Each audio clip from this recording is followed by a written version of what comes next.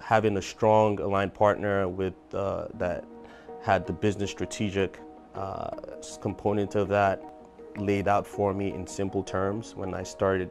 uh, discussing my vision with them uh, was very important. Uh, and then uh, discussing what I want to personalize and cherry pick out of th that solution to fit into what my program wanted to incorporate here